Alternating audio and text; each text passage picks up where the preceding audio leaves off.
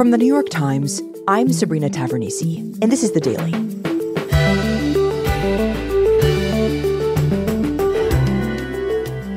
A mass shooting last fall by an Army reservist in Maine prompted my colleague, Dave Philipps, to search for answers about whether the soldier's service could have been a factor.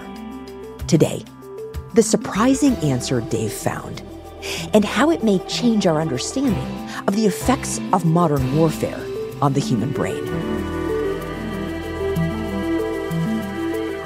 It's Wednesday, March 13th.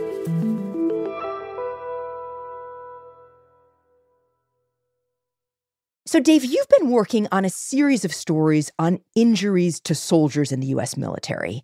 And last week, there was kind of a sudden and unexpected discovery related to that reporting you'd been doing. Tell me about it.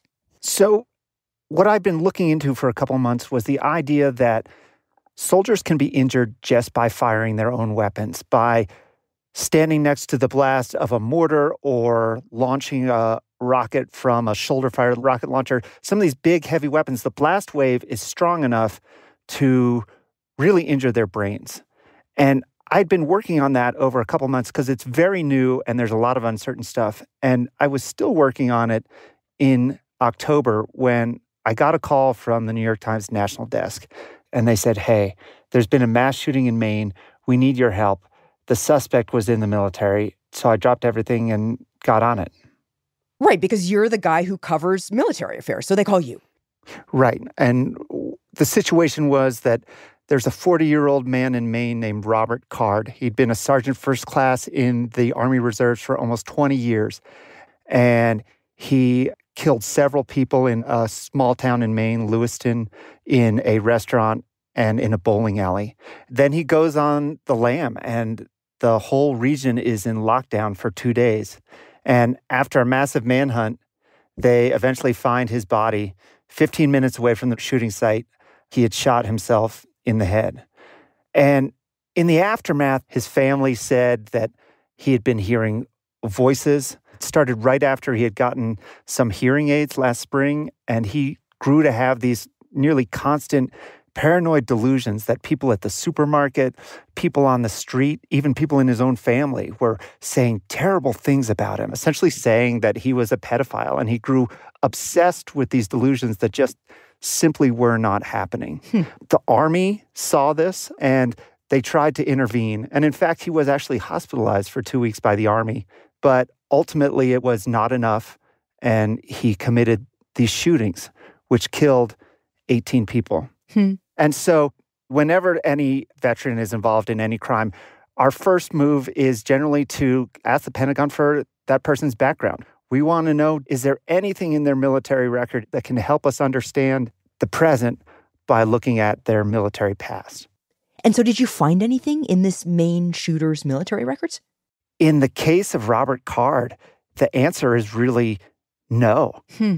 You know, remember, we've been at war for more than 20 years and, and more than a million people have deployed, many of them multiple times. He had been in the military that whole time. He had never deployed. Never in Iraq or Afghanistan. Never in Iraq or Afghanistan. Never even in Germany or Korea. Huh. And he also had a really humdrum job. The official title for it was Petroleum Supply Specialist. What does that mean?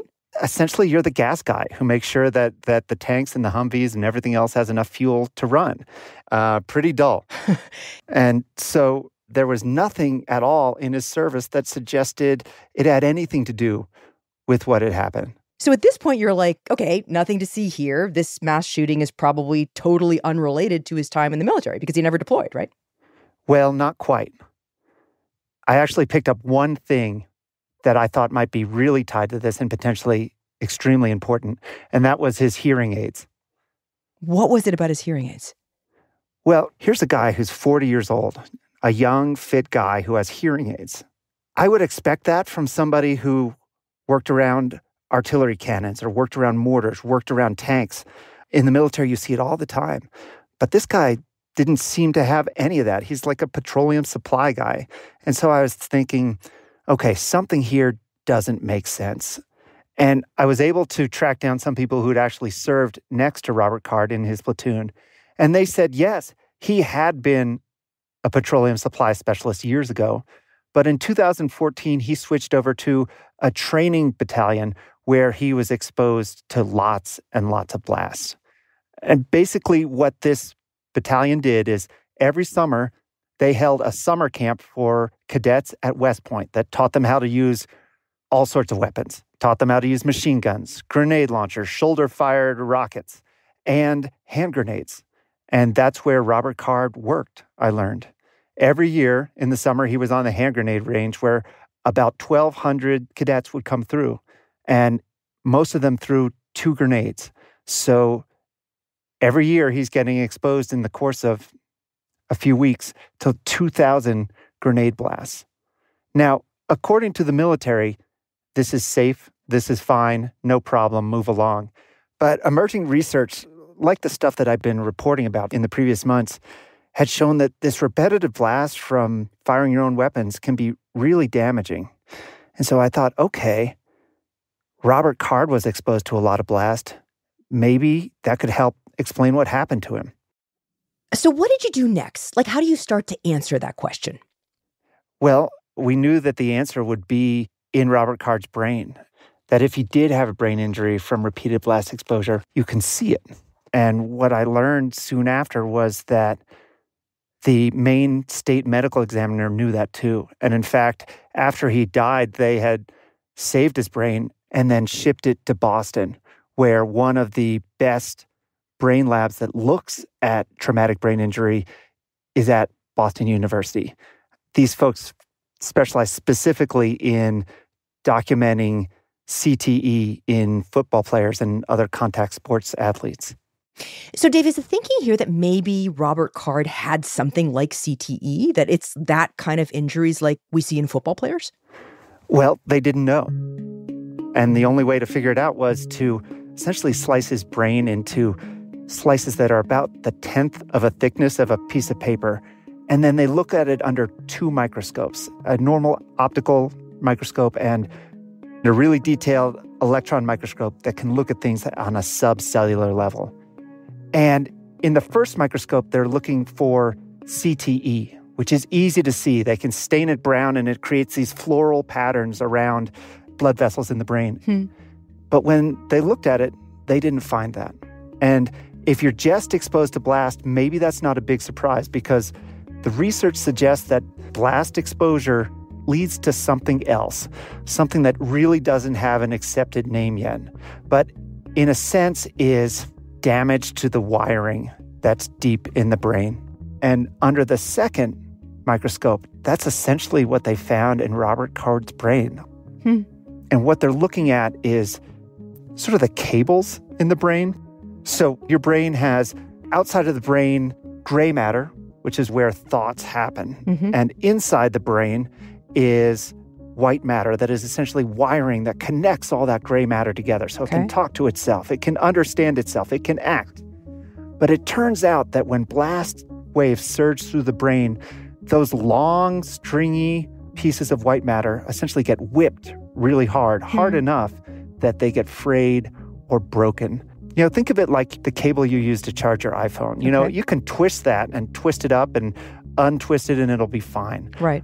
But it's the repetitive over and over that causes problems. So imagine twisting your iPhone cable 10,000 times hmm. and then it might still be there, but you plug it in and it doesn't work anymore. And so that's what they're looking at in Robert Card's brain. So the results were definitive. Despite never having served in combat, Card really suffered pretty severe brain damage from these repetitive blasts at this training camp, it seems like. Right. And we have to be careful because we can't definitively say with Robert Card right now that not only those grenade blasts caused this injury, but that that injury caused his behavior. What we can say is that it's a very, very good match. It certainly seems that that's the case. And Dave, what is the implication of this? Well, this is something that means so much more than just what happened to Robert Card or what happened in a shooting in Maine. And that's because for years, the military has known that blasts from combat, from roadside bombs, from enemy attacks are dangerous and they can damage the brain. But they haven't known what the effect of training is because most of the people who served in the military also went overseas. They might have gotten hit by an IED. They might have experienced something traumatic in combat. And so if they come back with brain injuries, it's very hard to say, are those brain injuries tied to firing their own weapons? But Robert Card's almost like a control study. We know that he never went overseas. He also never played football in high school. He was never in a serious car accident. He didn't do a lot of things that could have caused a brain injury to him. As far as we know, the only thing that could have damaged his brain is this blast injury of working on the grenade range. And so, if that is true, that means that a lot of the brain injury that is happening in the military is being caused by the military. That's a big deal.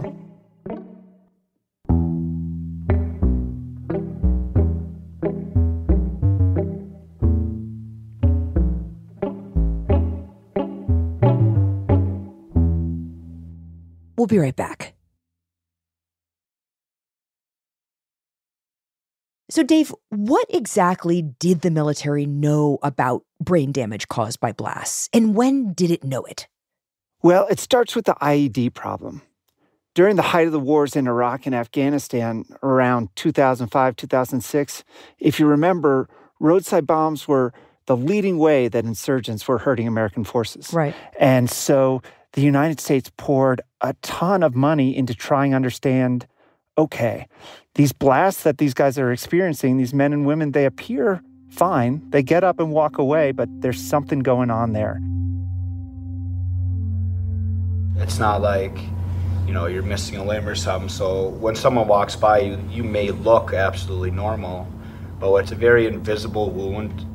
The military started gathering these stories and even shared some of these interviews. When I came home, I was not the same person. And when I got out, I didn't think that I had any issues or mental health issues that would affect me in the civilian life. I found that I was having trouble controlling my emotions sometimes, my anger. Soldiers were coming home complaining to military leaders of all sorts of problems, you know, feeling different, acting different, thinking different. I ended up losing a job because I was getting violent. Started another job, was getting violent there, was real irritable, hard to deal with. So I was self-medicating, trying to hide, you know, feelings and things like that. You know, I had the suicidal thoughts. They were almost coming back as different people. And the Defense Department poured hundreds of millions of dollars into this, starting probably around 2008, trying to answer the question of what kind of blast is dangerous and why. And they started getting answers, but it was still really murky. And so in 2012, they set up a brain bank to essentially collect brains from anyone and everyone they could get who was in uniform hmm. because mm. this injury couldn't be seen through an MRI, through a PET scan, through the normal things that we think of for imaging the brain. It was too subtle, but you could slice it up and see it in the brain. And what they were seeing was this telltale scarring in the white matter.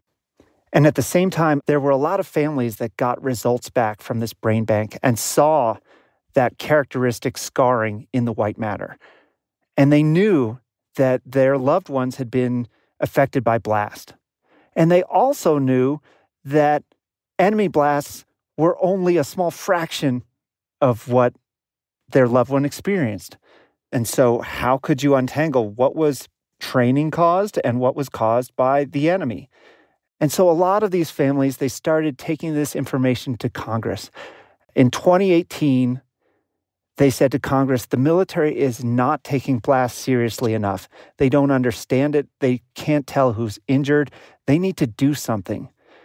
Congress at that point passed a law forcing the military to look at this research and figure out how we can track this. But here we are in 2024, and a lot of those questions are still not answered. And then, of course, came CARD, right? which seems to give us something of a new data point, a new answer. That's right, because the military, for all of this time, they had kind of been saying, well, this is complicated. We did some studies, but we still don't have clear answers. And they would hem and haw and essentially use the lack of a definitive answer as a way to postpone action. But here's Robert Card, and he's really important because the only thing he's been exposed to is grenade blasts. And that's supposed to be safe. You know, something did happen after all those years of research. The military, they finally put in place a safety threshold that basically said above this power of blast, there could be hazard. And they use a number for that. They measure blast in four pounds per square inch. That's you know the strength of the blast wave hitting anybody. But you know you can think of that four as a safety level. Anything higher, probably dangerous. Anything lower, supposed to be safe. And that's why Card is so important because if he was only exposed to grenades and he has a blast injury, those grenades come in not at four, not even at 3.9. They come in at like one PSI or maybe one and a half. So that suggests that this safety threshold that got put in place is way off. And that's really important, not just for Robert Card, but for all sorts of troops who are training right now, because there are many weapons out there mortars, shoulder fired rocket launchers, big artillery that come in at higher levels, some of them as high as eight or nine psi. Hmm. And what that threshold doesn't take into account is that we're not just talking about one blast. We're talking about hundreds or thousands of blasts. And how does that change how any blast is a threat or a hazard. So essentially, all of this study and research didn't actually translate into procedures that kept soldiers safer. Right. You know, it's sometimes frustrating for me to see this research because there are brilliant people who are building computer models that model how energy waves go through brain matter, or they are very carefully blowing up lab rats and then cutting open their brains to see the effects. And none of that expensive and time consuming research has many any difference to the people in uniform. Dave, how many vets are we talking about here? I mean, how many people may be suffering or at risk of this kind of brain damage? Do we know the scale here? That's a really hard question to answer. We know that more than 450,000 people have been diagnosed with a traumatic brain injury by the military since 2000. But that probably leaves out tens of thousands of people who, like Robert Card, were exposed to repeated blasts and may have a brain injury, but never were diagnosed. So the universe is potentially very large. That's why this is such a huge deal. Dave, stepping back for a second, you know, it seems like what we're learning here through this example of Robert Card is kind of bringing us into a moment where we're sort of rethinking what it means to have combat trauma, right? Like that it might actually have a lot more to do with the physical blast than with the mental or psychological trauma that one goes through in, say, a combat deployment? One thing that I've been reporting about for years is when soldiers come home different and why.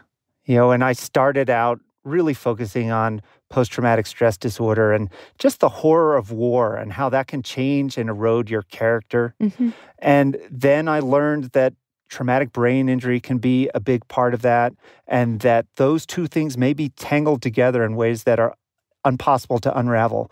But what's really interesting about Robert Card and other people I've talked to who've never deployed, but they've been around a lot of blast, is if you sent them into a typical Army clinic and had them list their symptoms, they would probably get diagnosed with PTSD. Mm. They're sleepless. They have anxiety. They have panic attacks. They are socially withdrawn. They're depressed.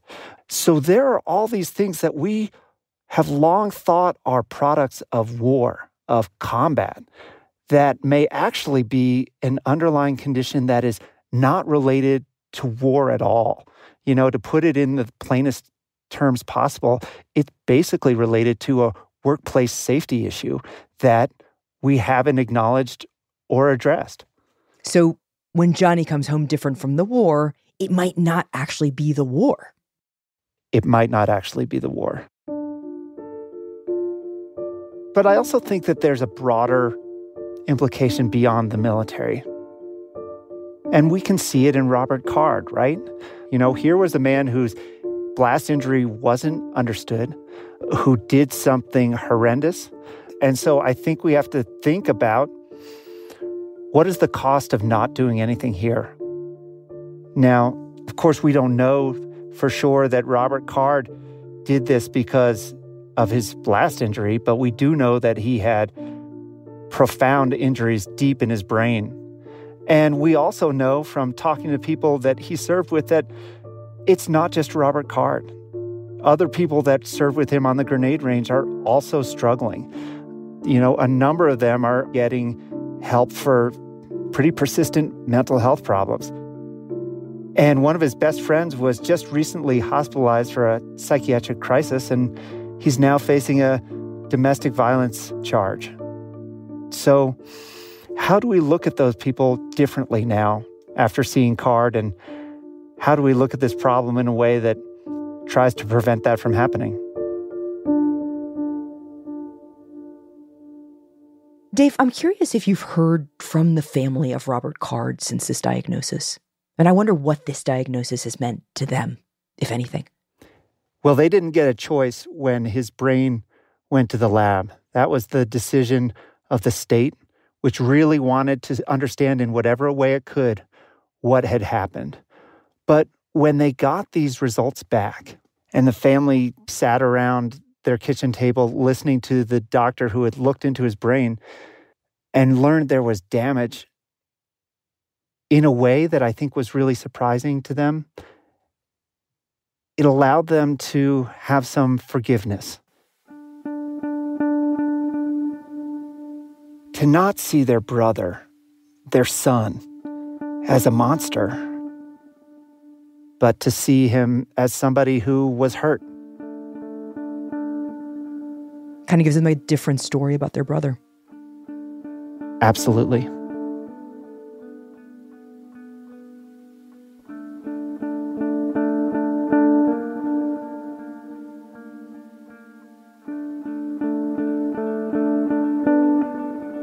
Dave, thank you. Thank you.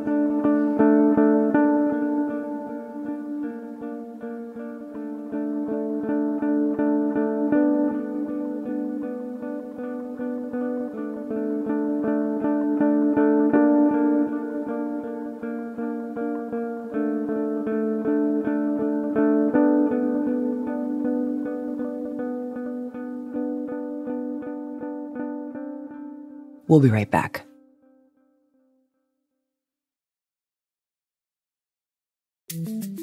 Here's what else you should know today. My assessment in the report about the relevance of the president's memory was necessary and accurate and fair. On Tuesday, in a tense appearance before the House Judiciary Committee, former special counsel Robert Hur testified about his investigation and February report into President Biden's handling of classified documents. You could have written your report with comments about his specific recollection as to documents or a set of documents, but you chose a general pejorative reference to the president. The four hour session quickly descended into a brutal partisan fight. In his report, Hur had called Biden, quote, an elderly man with a poor memory a conclusion that had infuriated Democrats. Republicans, for their part, grilled Hur about his conclusion that the evidence was insufficient to charge Biden with a crime. Like, here's what I see Biden and Trump should have been treated equally. They weren't. And that is the double standard that I think a lot of Americans are concerned about. And accused Hur of protecting Biden. You exonerated a conviction. I know that the term willful retention has a. Mr. Hur, it's my time. But Hur made clear during the testimony that his report had not cleared Biden of wrongdoing, rejecting a suggestion by Democrats that it had. Today's episode was produced by Jessica Chung, Claire Tennesketter, and Olivia Natt, with help from Sydney Harper. It was edited by M.J. Davis Lin, contains original music by Dan Powell and Marion Lozano, and was engineered by Chris Wood. Our theme music is by Jim Brunberg and Ben Landsverk of Wonderly.